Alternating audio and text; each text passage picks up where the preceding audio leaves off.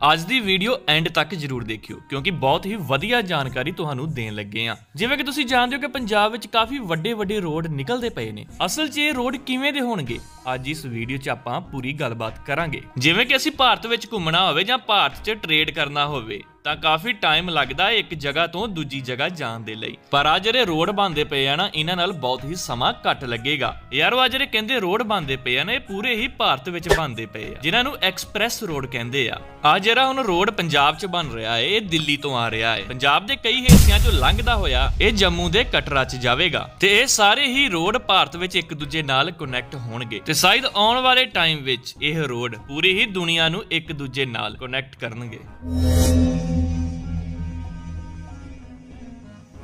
ਆ ਜਿਹੜਾ ਤੁਸੀਂ ਰੋਡ ਦੇਖ ਰਹੇ ਹੋ ਨਾ, ਇਹ ਹਰਿਆਣਾ ਐਕਸਪ੍ਰੈਸ ਰੋਡ ਹੈ। ਆਪਾਂ ਜਾ ਰਹੇ ਸੀ ਜੈਪੁਰ, ਰਾਜਸਥਾਨ।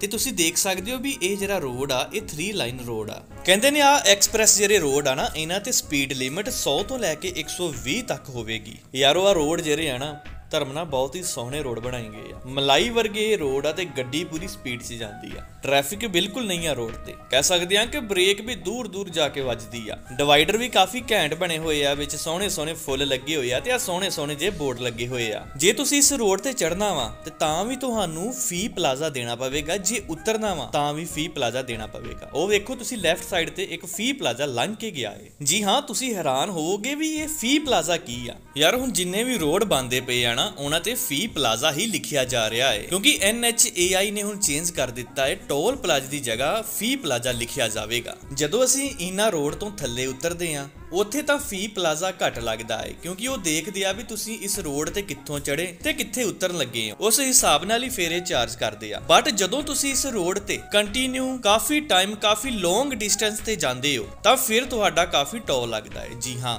ਇਹੀ ਰੋਡ ਤੇ ਆਪਾਂ ਜਦੋਂ ਰਾਜਸਥਾਨ ਜਾਂਦੇ ਪਏ ਸੀ, ਤਾਂ ਤਕਰੀਬਨ ਦੋ ਟਾਈਮ ਆਪਾਂ 300 ਤੋਂ 400 ਰੁਪਏ ਤੱਕ ਦਾ ਟੋਲ ਦਿੱਤਾ। ਯਾਰੋ, ਇਹ ਰੋਡ ਇਵੇਂ ਦੇ ਬਣਾਏ ਗਏ ਆ ਕਿ ਜੇ ਤੁਸੀਂ ਇਸ ਰੋਡ ਤੇ ਇੱਕ ਵਾਰ ਚੜ ਜਾਂਦੇ ਹੋ ਤਾਂ ਫਿਰ ਕਿਸੇ ਮੇਨ ਸਿਟੀ ਤੇ ਹੀ ਜਾ ਕੇ ਉਤਰ ਸਕਦੇ ਹੋ। ਤੇ ਜਿੱਥੇ ਵੀ ਉਤਰੋਗੇ, ਉੱਥੇ ਤੁਹਾਨੂੰ ਫੀ ਪਲਾਜ਼ਾ ਦੇਣਾ ਹੀ ਪਵੇਗਾ। ਤਕਰੀਬਨ ਤਕਰੀਬਨ 30 ਤੋਂ 50 ਕਿਲੋਮੀਟਰ ਤੱਕ ਜਦੋਂ ਕੋਈ ਵੱਡਾ ਸ਼ਹਿਰ ਆਉਂਦਾ ਹੈ, ਤਾਂ ਉੱਥੇ ਹੀ ਇਹ ਰੋਡ ਛੋਟੇ ਰੋਡ ਨਾਲ ਲਿੰਕ ਕੀਤੇ ਗਏ ਨੇ। ਕਿ ਤਕਰੀਬਨ 30 ਤੋਂ 50 ਕਿਲੋਮੀਟਰ ਤੱਕ ਇਸ ਰੋਡ ਤੇ ਰੈਸਟ ਐਂਡ ਸਰਵਿਸ ਏਰੀਆ ਹੁੰਦਾ ਵਾ, ਜਿੱਥੇ ਤੁਸੀਂ ਗੱਡੀ 'ਚ ਤੇਲ ਪਵਾ ਸਕਦੇ ਹੋ ਜਿੱਥੇ ਤੁਸੀਂ ਕੁਝ ਖਾ ਸਕਦੇ ਹੋ ਤੇ ਜਿੱਥੇ ਤੁਸੀਂ ਰਾਤ ਰਹਿ ਸਕਦੇ ਹੋ। ਅੱਜ ਹੁਣ ਆਪਾਂ ਤੁਹਾਨੂੰ ਦਿਖਾਉਂਦੇ ਹਾਂ ਵੀ ਇਸ ਰੋਡ ਤੇ ਜਿਹੜੇ ਰੈਸਟ ਐਂਡ ਸਰਵਿਸ ਸਟੇਸ਼ਨ ਬਣੇ ਹੋਏ ਆ, ਉਹ ਕਿਵੇਂ ਦੇ ਆ। ਆ ਤੁਸੀਂ ਦੇਖ ਸਕਦੇ ਹੋ, ਸਾਹਮਣੇ ਬ੍ਰੇਕਫਾਸਟ ਲੰਚ ਤੇ ਡਿਨਰ ਲਿਖਿਆ ਹੋਇਆ ਹੈ ਆਪਾਂ ਇਸ ਐਕਸਪ੍ਰੈਸ ਹਾਈਵੇ ਤੋਂ ਥੱਲੇ ਉਤਰੇ ਆ ਕਾਫੀ ਲੋਕ ਹੋਰ ਵੀ ਇੱਥੇ ਰੁਕੇ ਹੋਏ ਨੇ। ਆ ਦੇਖੋ, ਉੱਪਰੋਂ ਗੱਡੀਆਂ ਲੰਘਦੀਆਂ ਪਈਆਂ ਨੇ। ਬਹੁਤ ਹੀ ਸੋਹਣੇ ਬਣੇ ਆ HP ਦਾ ਸਾਹਮਣੇ ਪੈਟਰੋਲ ਪੰਪ। ਆ ਦੇਖੋ ਕਿੰਨੀ ਸੋਹਣੀ ਜਗ੍ਹਾ ਬਣੀ ਹੋਈ ਹੈ। ਹੁਣ ਆਪਾਂ ਅੰਦਰ ਜਾਂਦੇ ਆ ਤੁਹਾਨੂੰ ਦਿਖਾਉਂਦੇ ਆ ਵੀ ਅੰਦਰ ਕਿਵੇਂ ਦੇ ਆ ਆ ਦੇਖੋ ਆਪਾਂ ਤੁਹਾਨੂੰ ਲੈ ਕੇ ਚੱਲੇ ਆ ਵੀ ਜਿਸ ਪਾਸੇ ਕਮਰੇ ਆ, ਤੁਸੀਂ ਰਾਤ ਰਹਿਣਾ ਹੋਵੇ। ਆ ਵੇਖੋ ਬੈਕ ਸਾਈਡ ਤੇ ਇੱਕ ਪਾਰਕ ਵੀ ਬਣੀ ਆ। ਬਹੁਤ ਸੋਹਣੀ ਪਾਰਕ ਬਣੀ ਆ। ਜੇ ਤੁਹਾਡੇ ਨਾਲ ਬੱਚੇ ਆ ਤਾਂ ਬੱਚੇ ਇੱਥੇ ਖੇਡ ਵੀ ਸਕਦੇ ਆ। ਹੁਣ ਆਪਾਂ ਤੁਹਾਨੂੰ ਇਹਨਾਂ ਕਮਰਿਆਂ ਦੇ ਅੰਦਰ ਲੈ ਚੱਲਦੇ ਆ ਵੀ ਜਿੱਥੇ ਕਮਰੇ ਮਿਲਦੇ ਆ। ਆਪਾਂ ਵੀ ਫਿਰ ਇੱਥੇ ਕਮਰਾ ਲਿਆ ਸੀ ਤੇ ਇੱਥੇ ਰਾਤ ਰਹੇ ਸੀ। ਤਕਰੀਬਨ 1000 ਤੋਂ 1500 ਤੱਕ ਇੱਥੇ ਕਮਰਾ ਮਿਲ ਜਾਂਦਾ। ਆ ਸਾਹਮਣੇ ਦੇਖ ਸਕਦੇ ਹੋ ਵੀ ਇੱਥੇ ਕਮਰੇ ਬਣੇ ਹੋਏ ਆ।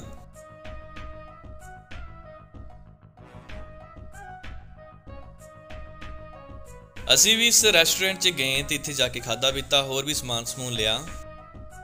ਯਾਰੋ ਆ ਜਿਹੜੇ ਰੋਡ ਆ ਨਾ, ਇਹਨਾਂ ਰੋਡ ਤੇ ਤੁਹਾਨੂੰ ਦੱਸ ਦਈਏ ਵੀ ਜਿੱਦਾਂ ਆਪਾਂ ਗੱਲ ਕੀਤੀ ਕਿ ਤੁਸੀਂ ਥੱਲੇ ਵੀ ਉਤਰਨਾ ਹੋਵੇ ਤਾਂ ਕਾਫੀ ਦੂਰ ਜਾ ਕੇ, ਕਈ ਕਿਲੋਮੀਟਰਾਂ ਦੂਰ ਜਾ ਕੇ ਕਿਸੇ ਮੇਨ ਸਿਟੀ 'ਚ ਹੀ ਥੱਲੇ ਉਤਰ ਸਕਦੇ ਹੋ।